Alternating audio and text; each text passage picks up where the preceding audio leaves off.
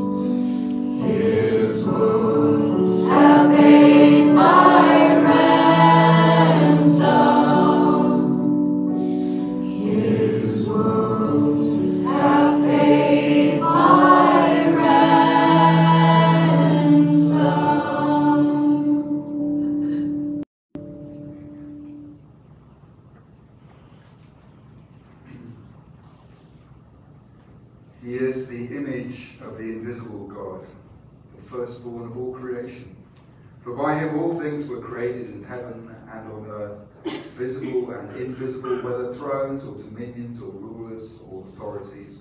All things were created through him and for him. And he is before all things, and in him all things hold together. And he is the head of the body, the church. He is the beginning, the firstborn from the dead. For in everything he preeminent. For in him all the fullness of God was pleased to dwell, and through him to reconcile to himself all things, whether on earth or in heaven, making peace by the blood of his cross. Jesus, you are preeminent in all things. You are above all things. You are before all things. You are over all things. And we come to worship you this morning because you are our Lord, our Savior. And yet you are willing to come and die on a cross to, to reconcile the world to yourself, to pay the price for our sin. You have called us as your church to be reconcilers in this world. Lord, as we look around our world, we look around our country, we see it in tatters right now. We see great division and hurt and anger and all kinds of things going on. And we know what the answer is. You. There is no other answer. You. If, if we want to be reconciled to be one another, we need to be reconciled to you. So help us as your church, as your people, Lord, to be reconciled. We pray for relations. That's the business that you're in, that's the business that we are in as your church.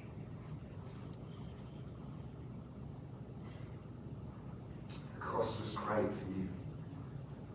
You paid with your body, you paid with your blood to reconcile us to you.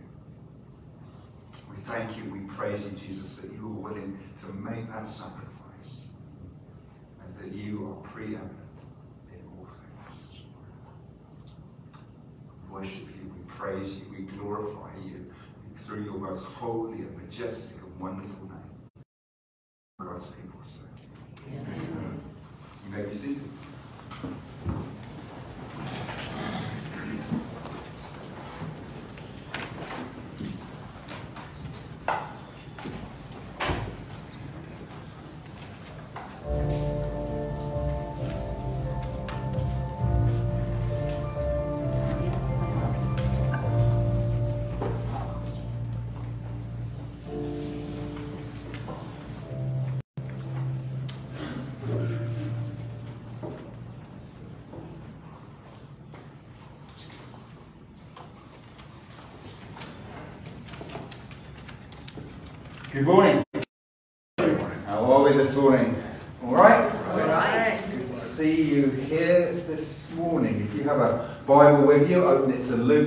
Chapter 9. You'll be relieved that we are going back to our series in Luke and not continuing on in Judges. So uh, happy for me. Although I, it was uh, important that we did that last week, and uh, let's not forget about it as we move on. Anyway, we are in Luke chapter 9. If you don't have a Bible with you, you can find that in page 814 in a Bible under the chair in, in front of you. How many of you drive a car? Oh, you just don't a car? Sounds like a trick question. how, how many of you know how to ride a bike? A push bike, that is. not- Push bike? Push yeah, bike. push bike. What's a push bike? As opposed to a motorbike. Translation? Yeah. It's not speak English or what? I've seen her off to a flying start. Are you talking about a scooter? Talking about pedal bike. Oh. A pedal bike. Uh, uh, Most of us started off on the push bike, right? You remember that as a little kid when you learned how to ride a push bike? Uh, and you had uh, the, the uh, stabilizers, right? And because you know it made it into more of a trike than a, than and um, made it safe too. Well, more or less safe unless you went around the corner, corner really too hard, right? Then you could flip it over. But but the idea was not to keep it as a trike, right? It was to learn how to balance because those, those stabilizer wheels on the side, you know, they're a little bit short, aren't they? So you, you know you can learn how to balance, and they're just there to stop you from going all the way over. And, and then as you get on a little bit. Um, and your mum and dad see, you know, that you're making the progress, right? That they say, all right, time to take those wheels off now. And you go, oh. no, no, no, I'm not for that. Yeah, oh, yeah, you are. And, and so they come off. And it's really scary, doesn't it? You know, you get on the bike, and but mum or dad is there behind you. They have the, the, the hand on the saddle or on your back, you know, and, and they act as your stabilizer. But then, you know, as you get more proficient at balancing, what you don't realise that mum and dad, you know, kind of take their hand away, don't you? Because mums and dads, you, have done it too, right? You take your hand away, but you don't tell the child that you're taking your hand away. Mm. You, you make them think that you still have your hand on them, and, and then you say, actually, I didn't have my hand on you. They go, no, no, no. and eventually they realise you have taken your hand away, and then they're off, right? And you get the confidence to go off on your own. And it's kind of that exhilaration and fear, isn't it? It's kind of the same way when you learn to drive a car. You know, you have the instructor and then you, you gain your proficiency and then you pass your test. And that moment, the, the first time you drive a car and you're by yourself. You remember that? The first time you ever did that? Something wow. On the one hand, it's exhilarating, it's like freedom, yeah, it's great. Uh, on the other hand, it's kind of scary because, like, what something goes wrong and there's no way to hold my hand and tell me what to do. With learning, that's generally a kind of an approach, isn't it? We kind of do like uh, I do, and you watch, uh, and then I do, and you help, right? Uh, and then you do, and I help, and you do, and I watch, and then bye bye, off you go, right? But sometimes it's, um, we get chucked into the deep end, don't we? And maybe we get handed a set of keys to, well, go and move that for me, Brian, and, well, I've never right? And it's like sink or swim time. And, uh, sometimes we can learn that way too. Or, maybe it's a combination of, of the both, of both. Which one do you think God uses? Or maybe a different question, which one would you like to use on you? maybe that's more appropriate question. And do you think takes his hand away from you so that you can just go it alone. Well, this morning we're going to look at a passage where Jesus seems to uh, take the training wheels away from the disciples and uh, kind of mixed results, I suppose. Uh, and how do they get on? Are they ready to go it alone? Well, let's find out. Shall we? Luke chapter 9, as I said, verse uh, 1 through 17.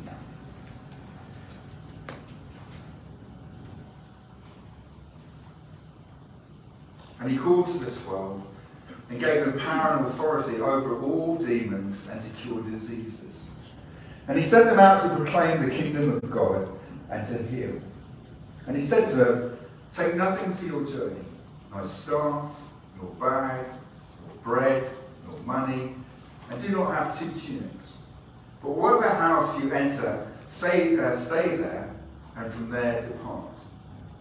Uh, and wherever they uh, do, not do not receive you, when you leave that town, shake off the dust from your feet as a testimony against them. And they departed and went through the villages, preaching the gospel and healing everyone. Now Herod the Tetrarch heard about all that was happening, and he was perplexed, because it was said by some that John had been raised from the dead by some that Elijah had appeared, and by others that one of the prophets of old had risen. He said, John I beheaded, but who is this about whom I hear such things? And he sought to see him. On their return, the apostles told him all that they had done. And he took them and withdrew apart to a town called Bethsaida. And when the crowds learned it, they followed him, and he welcomed them and spoke to them of the kingdom of God and cured those who had need of healing. Now the day began to wear away, and the twelve came and said to him, Send away, the, send the crowd away to go into the surrounding villages and countryside to find and get provisions, for we are here in a desolate place. But he said to them, You give them something to eat. They said, We have no more than five loaves and two fish, unless we go and buy food for all these people. For there were about 5,000 men. And he said to his disciples, Have them sit down in groups of about 50 each. And they did so. And had them all sit down, and taking the five loaves and the two fish, he looked up to heaven and said a blessing over them. Then he broke the loaves and gave them to the disciples to sit before the crowd. And they all ate and were satisfied. Um, and what was left over was picked up 12 baskets of broken pieces.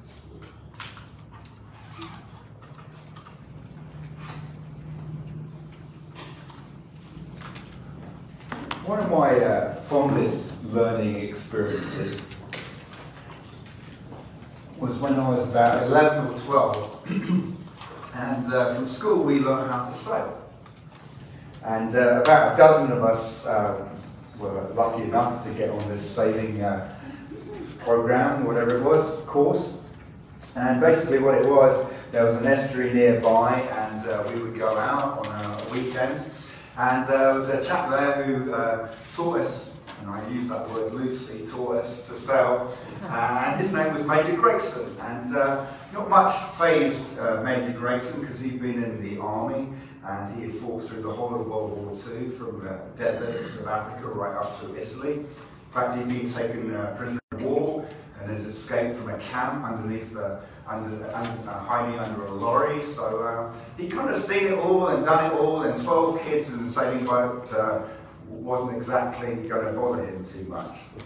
And his idea of instruction was to show us how to hoist the sails on, uh, on these dinghies on the beach and uh, give us some brief uh, instruction about and uh, two kids to a boat, and off we went. and it was great, you know, it was, it was great fun. We had some dodgy moments, but we all survived. And he had this old motorboat that he would sort of chug around along behind. He couldn't keep up with us, but he was there to fish us out if we got into any trouble. And surprisingly enough, when trouble did happen, suddenly he appeared out of nowhere, right? And uh, even though we thought we were just left to ourselves, he, he was always a constant presence. And, and, then we would meet up at some point and uh, you know, park up on a beach and he would produce a thermos of tea and uh, some sandy sandwiches and it was all great. It was a great experience. And we learned. I don't suppose that's quite the way it's done these days, but you know, again, we all survive. we start this chapter, and Jesus is sending out his disciples on their first mission by themselves.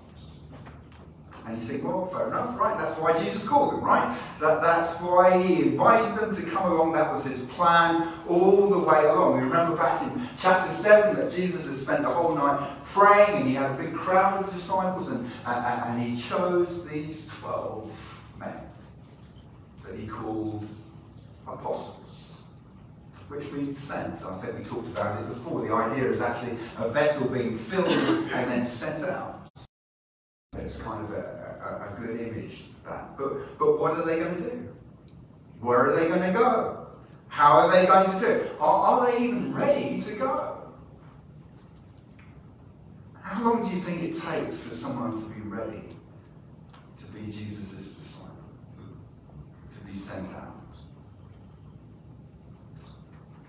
what's the best way for that to happen? Is that the gradual process or is that the sink and swim kind of process? Long does it take us to be saved? I want to remind you the last time that we heard in, in Luke's Gospel from Jesus' disciples. And that was when they were in a boat. And they were in a storm. Remember that? and there they were, these seasoned uh, fishermen, sailors, whatever. Uh, and they're in this storm, and Jesus was asleep in their boat. Uh, and what did they do? They were frightened. They were terrified. And, and they woke Jesus. Like, we're, we're perishing. We're, we're going under, Jesus.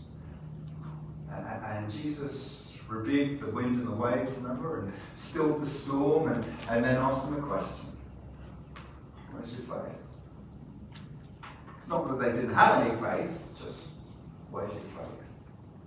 And what they were uh, uh, marveled that the wind and the waves obeyed Jesus, and, and they were afraid. That's the last time that we've heard from these men. Do you think they're ready to be sent out on Jesus' mission? Response? Would you signed their certificate? Yep, there you go. Off you go. You're, you're ready to go out by yourself now. Now, you can contrast that, right? Because on that story, remember when they got to the other side of the lake, they met this demon possessed man? And Jesus did what? He sent him out. And, and that bloke had only known him a few hours. He, didn't he wasn't even a Jew. He didn't even know all the history. And yet Jesus, I mean, talk about sink or swim, right? So you've got on the one hand these disciples that have been with him and their Jewish background and all of that, and then on the other hand you've got this, this Gentile who, who barely knows Jesus for a couple of hours and then he sends him out, the first mission. Which one would you like to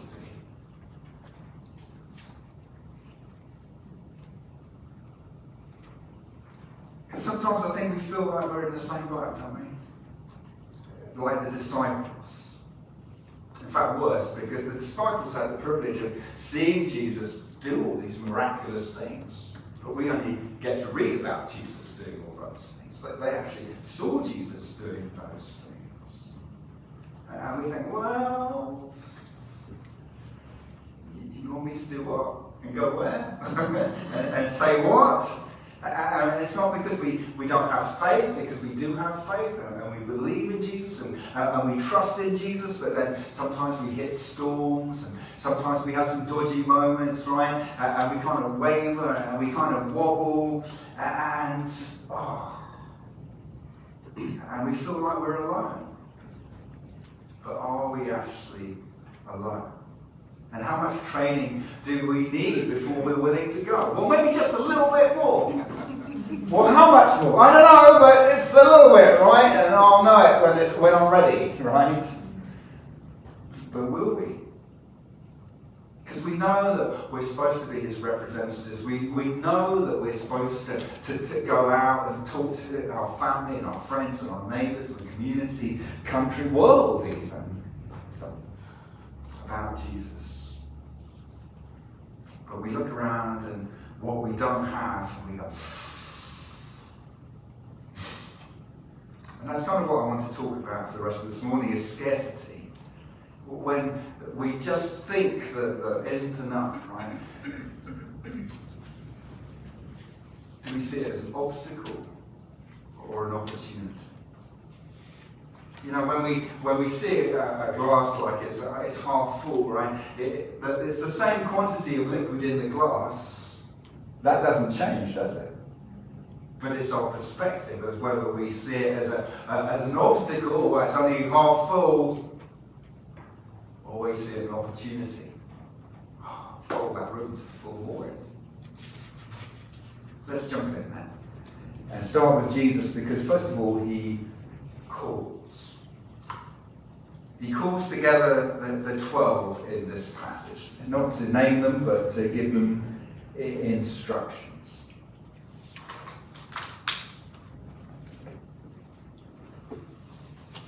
I suppose it was in my uh, early 20s or so. Uh, a, a, mate and I, my, myself, we thought it would be a good idea and uh, relive childhood, and we bought a sailing dinghy, right? And uh, we took it down to a different estuary and we um, we're going to give it a go. And my mate goes, God, it's a bit windy, isn't it, Ryan? And I said, no, no, don't worry. I've done all this many times before. I'm an expert, right? So, yeah, what could possibly go wrong? So we jumped in the, in the dinghy and we pushed out, except it was a lot windier out on the uh, river than it was where we put the sails up. And of course, the wind caught the sails and we actually belted across this estuary. Uh, and we were struggling to keep the boat up and everything. And uh, we, we kind of had the kind of had it under control, but then of course you get to the other side and you've got to do something, right? Because you're going to pile into the rocks on the other side. And I was like, oh, I can't remember which way to turn. Do you turn into the wind or you turn away from the wind? And uh, made the fatal mistake of turning away from the wind, which in sailing terms is called jibing. And what happens is the wind catches the sail and it goes bam, right across, and the whole boat goes, and we were climbing up the sides, trying to keep it upright. Uh, but I don't know how we kept it you know, from going under, but we did, and we shot back across to where we came from, and right, that's enough of that. and uh, we got that sailing, and uh, we retired back um, from the scene of the fray. And I learned something that day that uh, maybe I was not the sailor that I thought I was. And the next time I went out, I was a lot more cautious and, a lot more humble. And I think about the time when the, the disciples, especially like Peter and Andrew and James and John, when they received the call to follow Jesus. Remember that? They, they were fishing, right? In fact, they'd been out fishing all night long. And they caught zero. And Jesus comes along the next day uh, and he uses their boat as a, as a, kind of a floating pulpit, doesn't he? Uh, and then when he's done teaching, he asks them, them to, to push out and go fishing. And it's like the middle of the day, and they go, oh, no, no, Jesus is. But nonetheless, they, they follow Jesus and they go out and they put their nets over uh, and they literally get a boatload of fish. And, and Peter does what? He recognizes that Jesus is more than just a good fisherman. He, he recognizes there's something extraordinary about Jesus. And, and, he gets on his face before Jesus and says, Depart from me, from I am a sinful man. And Jesus told him not to worry, because from now on he would be catching people, not fish and that was a turning point for them because they'd been kind of been following Jesus up until that point, but now they were 24 7 Jesus' disciples. And that's the place where we receive the call for Jesus, isn't it? When we recognize the scarcity in our own lives where we recognize the, the barrenness in our own lives, that we can't do anything for God in our own power, in our own strength, in our own expertise. We can't do anything for God. If we think Jesus is calling us because, well, he's such a good sailor, I need him to have him, and, and, and she's so good at this, and he's so good at that, you know, I, I possibly can't do my ministry without bringing them all on board, then, you know, we're well mistaken, aren't we? That's not to say that Jesus doesn't use those gifts and abilities and skills and talents that we have, right? Because he, he certainly does use them. But that's not why he's calling us. He's not calling me because I'm an expert sailor. Not that I'm an expert sailor, as you already heard, right? But that's where it starts. Because if we don't recognize the scarcity in ourselves, then we won't hear Jesus' call. We won't hear his call. I think of Moses, know, he was born a Hebrew slave. I mean, We, all kind of know the story. And, um, you know, his mum hid him in the, by the banks of the Nile in that basket, and he was found by Pharaoh's daughter and um, grew up in Pharaoh's house, didn't he? And no doubt he, he became an expert at all kinds of things and was, had, had this power and prestige. Uh, and yet God's call obviously was on his life. But he didn't hear God's call at that time, did he? Because he went out and he saw this Egyptian beating up a Hebrew. He, he knew where his roots were. And he went to intervene, didn't he? And what did he do? He ended up murdering the Egyptian. And he buried the Egyptian in the sand, and he thought that he got away with it. You know, there was no CSI back then or anything like that. and uh, except he forgot one crucial fact is that, that the, the Hebrew, of course, had seen him do it. And the next day he saw two Hebrews arguing and fighting amongst themselves, and he went to intervene, and, uh, and one of them said, Who made you, boss? What are you going to do? Kill me like you did that Egyptian? And of course his secret was out. And he had to do a runner. And it was 40 years, wasn't it? Before he recognized God's call. 40 years of what? Scarcity of God paring him back down to size, I think. In fact, so much uh, did Moses have scarcity in view that when God called him, that, that then became an obstacle, didn't it? Well, I can't go, God, because I can't but until we recognize the scarcity in our own lives and, and the need for God's grace, for His forgiveness, for His love, for His truth, chances are we'll miss God's call. We won't hear But when we throw ourselves at the foot of the cross, and when we plead for forgiveness, and when we're filled with His grace and His mercy, and then we can rejoice with the psalmist. From you comes my praise and the great congregation. My vows I will perform before those who fear him. The afflicted shall eat and be satisfied. Those who seek him shall praise the Lord. May your hearts live forever. So, do you see the scarcity in your life as an opportunity for God's call? Secondly, Jesus empowers.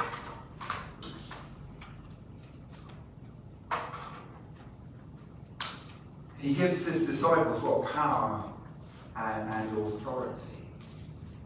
And yet, on the other hand, he tells them, right, that when he sent them out on this mission, that they can't take anything but the bare necessities. No, I'm not going to burst into song.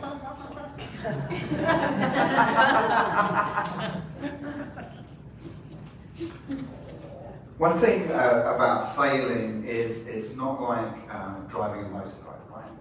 You drive a, a boat with an engine in it, you know, you want to go faster, you push the throttle forward, don't you? You want to go slower, you pull the throttle back. You, you want to go to the right, I should probably use uh, nautical uh, starboard, right? Uh, you turn the wheel to the starboard. You want to go to the port, you turn the port wheel to and it's pretty simple, right? You, you, don't have to do too much else or worry about too much else about where your power is coming from unless your engine uh, breaks down or you run out of petrol. But sailing doesn't work like that. It all depends on what? The wind. And it all depends on the strength of the wind uh, and where the wind is coming from. Because if you want to get from point A to point B, it depends how where the wind's coming from. It's coming from behind you. You, you just put the sails out, and that's great. You just if it's coming from the side, that's not too bad either. But if it's coming from head on and you want to get there, then you have to kind of tack, right? And your um, speed and direction will depend on, on keeping those sails and there's a couple of different things you can do. You can, you know, depending on how close to the wind you sail, uh, um, will depend on how fast you, you can go, how much power you extract from the wind, if you like. Because the boat is most empowered when, when the sail is optimally filled.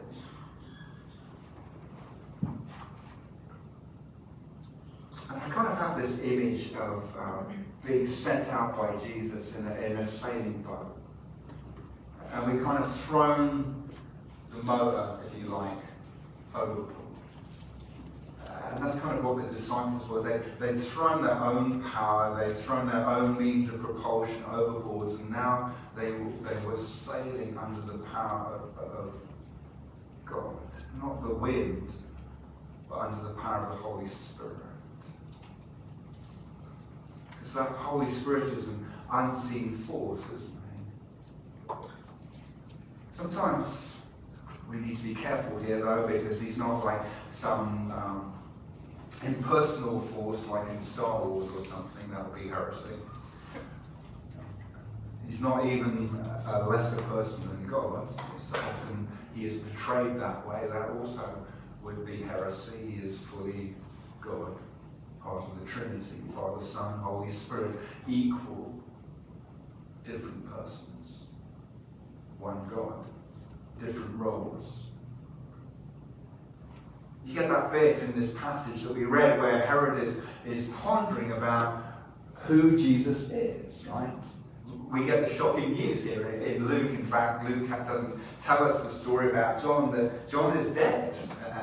And, uh, Herod has had John beheaded. So he's thinking, he's heard these rumors about who Jesus is. And he goes, Well, he's not John, because I know what happened to him. I chopped his head off. And Elijah, or one of the other prophets, I don't know, it sounds kind of unlikely, but I kind of want to find out who, who this Jesus is. But what Herod failed to recognize was that the, the, the power behind everything is the Holy Spirit, is the power of God. It's an unseen, immovable force that pushes the story of God's redemptive story forward, isn't he? He's the wind in the sails, if you like, of God's narrative of redemption twists and the turns. You know, in the Bible, you know, sometimes, right, like the wind, you know, it's like, it, it, it kind of seems like God takes a circuitous route to get somewhere, doesn't he? and then sometimes it goes really fast, doesn't it, the story? It's like just a, a big gale's blowing and everyone's just hanging on for dear life, trying to keep the boat upright. And then sometimes it seems like the wind just dies and the story has just becalmed for days, months, years even, until the wind picks up and starts to move the story forward again. And of course, in Hebrew, the, the Hebrew word for wind is ruach, uh, and that means spirit and breath. And you read in the very opening of Genesis there that, that what the Spirit of God was hovering over the face of Holy Spirit was there right at the very beginning. And he's rare, there all the way through the Bible until its conclusion. In fact, Jesus, right, when he left, before he left, uh, went to the cross, he told his disciples that he would what? Not leave them alone. He would not leave them as orphans. If they thought like he was their stabilizer, right? And oh my gosh, Jesus is going away but I'm not leaving you alone. He had empowered them for the ministry to which he had called them. The Holy Spirit's here this morning. The same Spirit who hovered over the face of the waters. Same Spirit that Jesus empowered to send out his disciples in. The same Spirit who rose Jesus from the dead. that power is here this morning. He is with us this morning. That's Jesus' promise. He came into our lives when we received Christ. And our job then is to steer a course which catches his power, fills ourselves. Because what stops us from being empowered by the Spirit of God? What stops us being empowered by the Holy Spirit? Sometimes you see yachts, right? They have sails, but they have engines. And sometimes I see yachts that um, hardly ever put up their sails. They've got them. Ostensibly, they are, they are a sailing boat, right? But they seem to rely on their engines more than their sails. And sometimes we do that too? I think that's what happened with the disciples when they went out on their first missionary trip. Jesus said, No, you're just taking the bare essentials, nothing else. And they had nothing else to rely on except the power of the Holy Spirit. They had to, to look to the Spirit for everything that they did, for to meet all their needs, for their direction, for everything. and what happened? Bingo. That, that what they did, their ministry reflected that, didn't it? They, they were empowered by the Spirit. And then we get to the second part of the story, where this crowd is going out to hear Jesus. Uh, and, you know, the, the, the, the, the, time is getting late, the, the evening's coming, and the disciples are, are looking around and looking at their watches. You oh, know, Jesus is going on a bit tonight, isn't he? Don't know what they're going to do. You know, these people, I mean, fair play. At least they had some concern for the crowd's well-being, I suppose, right? But then they go to Jesus, and, and, and in the Greek, it's an imperative. They command Jesus to send the people away. Jesus, you have to send the crowd away. Imagine that? You have to send the crowd away. What happened to their empowerment by the Spirit? They got back to using their own engines, didn't they? They, they looked at the scarcity and they thought, that's an obstacle. That's not an opportunity. That's an obstacle. And how often do we do that when we look at scarcity and we go, and we look at it in our own power, what we can do with what we have, and we go, yeah, that's not. It's kind of a, a paradigm, a mindset that we get ourselves into. The people of uh, the Hebrews, when God brought them out of Egypt on, on the Exodus, they had that mindset. That's what they were used to, right? They were, they were slaves. They weren't used to being in God. They had that scarcity paradigm, and scarcity was always an obstacle. Even though they had seen the, the, the Spirit of God, they'd seen the wind of, of God separate the, the waters of the Red Sea so they could walk through on triumph. And yet they got to the other side into the wilderness and they, no food here, scarcity, problem, obstacle, we should turn around and go back. but God had a different answer, didn't he? It says that as soon as Aaron spoke to the whole congregation of the people of Israel, they looked towards the wilderness, and behold, the glory of the Lord appeared in the cloud. And the Lord said to Moses, I have heard the grumblings of the people of Israel. Say to them, At twilight you shall eat meat, and in morning you shall be filled with bread. Then you shall know that I am the Lord your God.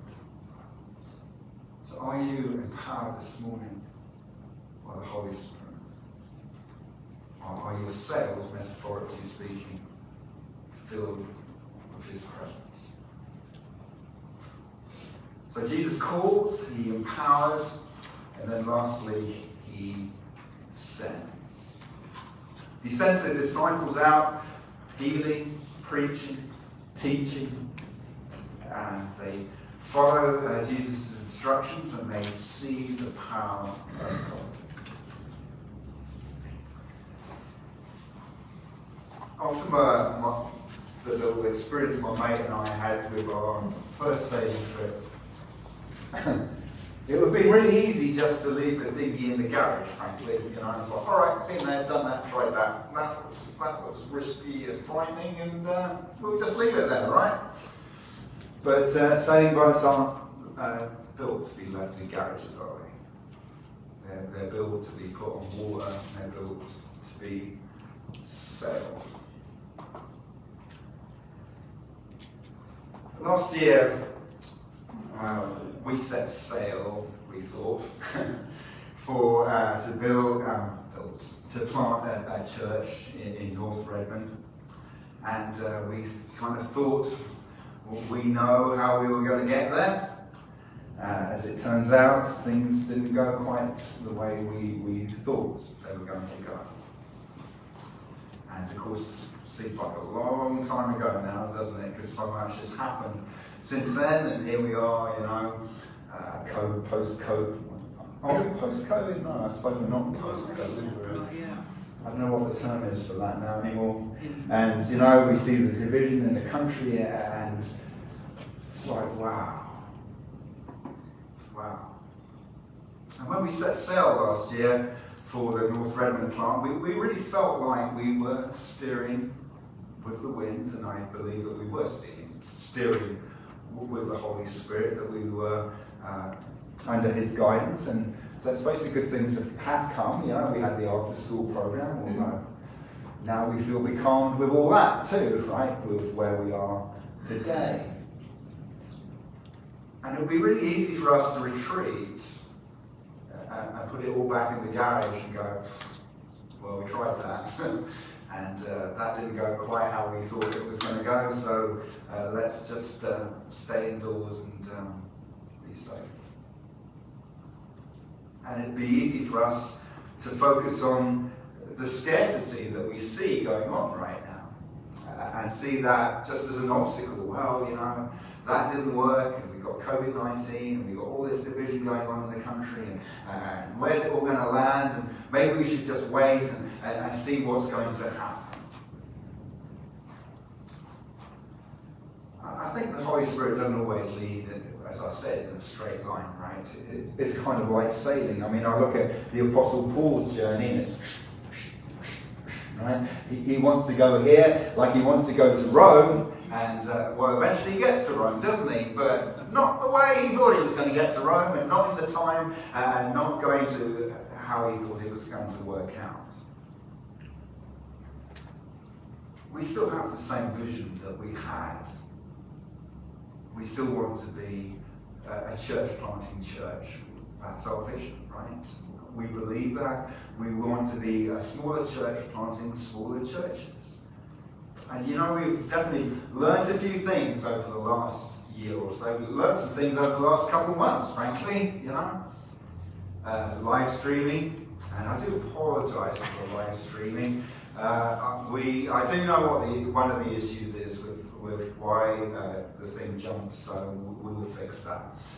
Um, and we're working on it. We also done some Zoom groups and stuff, and uh, you know, I think there's possibility to do more of that kind of thing. And the live streaming will continue, as, as we keep saying. And so we've learned some stuff, right? We, we, we've added some stuff uh, through this process. And again, that hasn't changed the vision.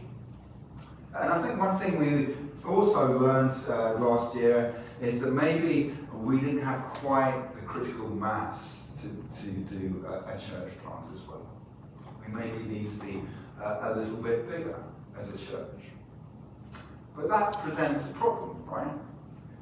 Because I know we're a little bit empty here this morning, but before COVID 19, we were full. We were at maximum capacity. So, how do we reach more of a critical mass when we're at maximum capacity? Well, I guess we could do a couple of services. That would be one option.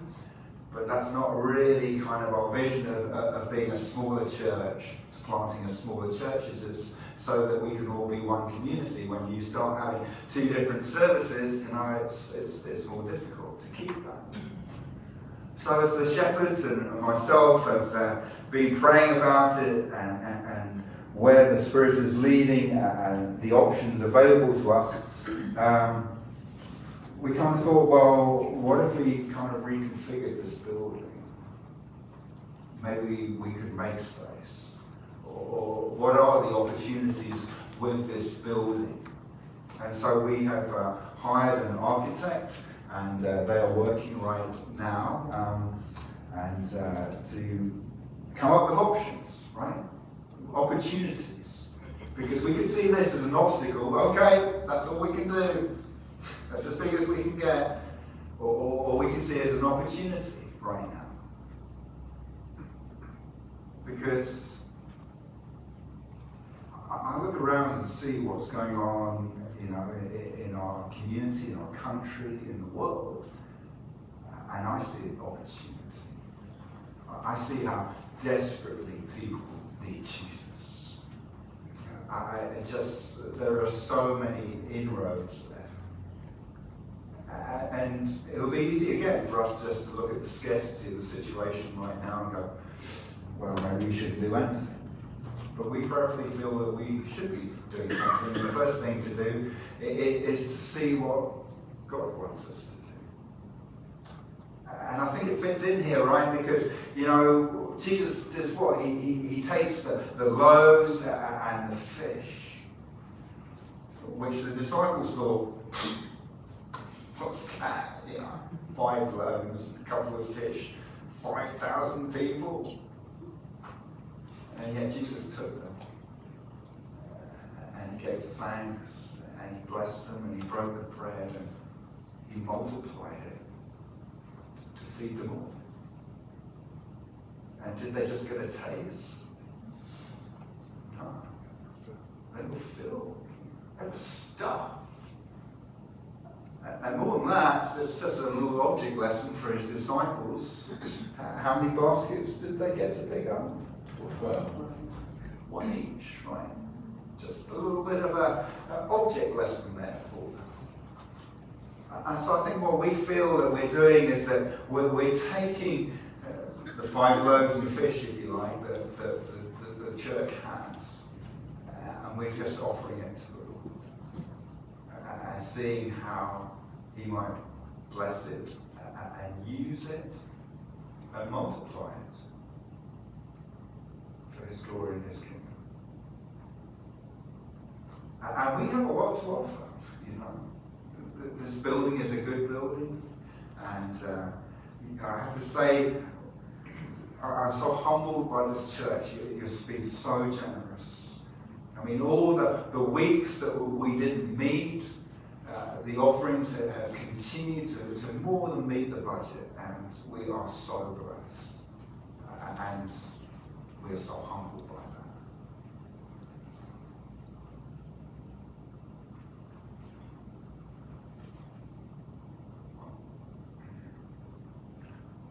To invite Jesus into our scarcity. I guess that's what we, what we want to do. Because when we do that, Jesus will open our eyes.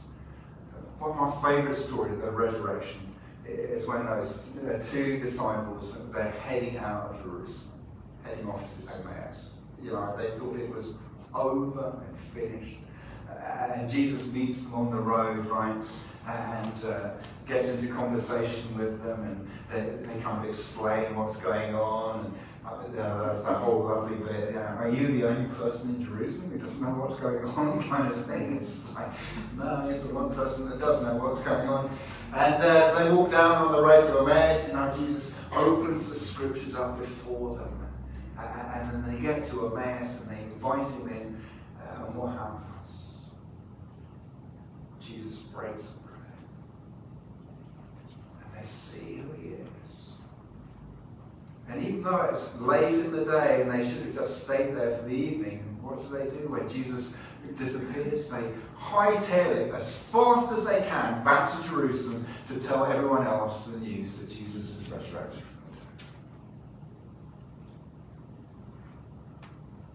Jesus changes scarcity into opportunity, doesn't he? And it sends us out, rushing out to tell people the good news.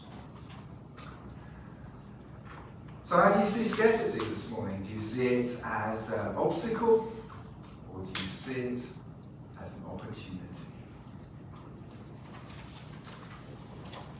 We're called to be Jesus' disciples because We've seen the scarcity in our own lives.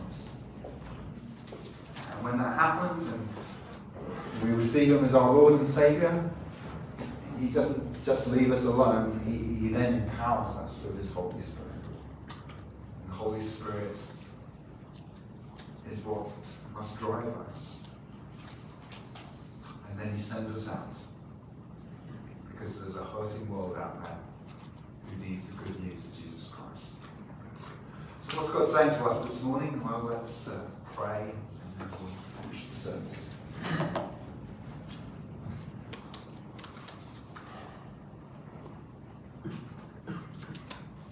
Father, first of all, uh, thank you and praise you for sending your Son into this world. And I thank you and praise you, Lord, that I am so blessed to be part of this church. With, with brothers and sisters who have their sails filled with your spirit, filled with your spirit of generosity, who have heard your call who've recognized the scarcity in their own lives and, uh, and come to the foot of the cross and ask you to fill them. And you call us, Jesus, to be your disciples, not because of what we can offer you, but because of what you've done for us. You don't leave us alone. fill us with your power. We thank you, Holy Spirit, that you're here today to empower us with the mission that you've called us to. Help us uh, steer a course that keeps ourselves filled with you. Don't let us turn back to our own power, but adjust our course and trim ourselves to, to be empowered by you guide us and lead us, Lord, as your church to see the opportunities that you're sending us out to. We don't know where those opportunities lie specifically, but you do.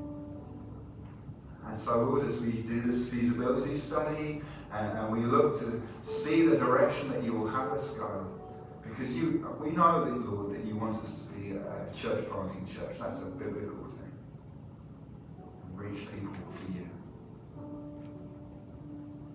And so we humbly come before you, Lord, and we offer our, our loaves and fish to you, that you would multiply them to feed the crowd around us with the good news. We thank you, we praise you in Jesus' name.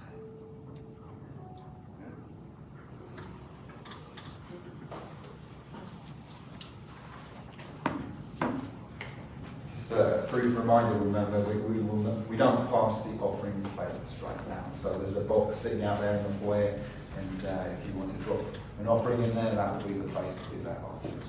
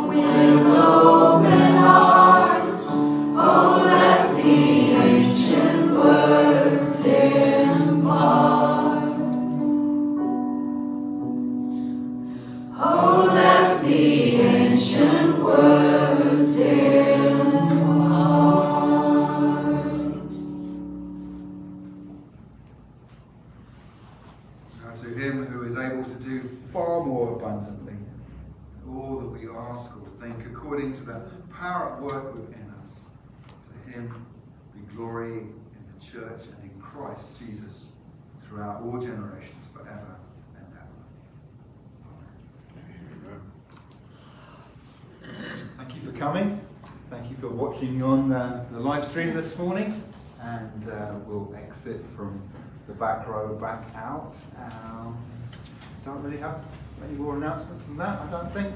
So, except thank you, ladies, so much. Yeah.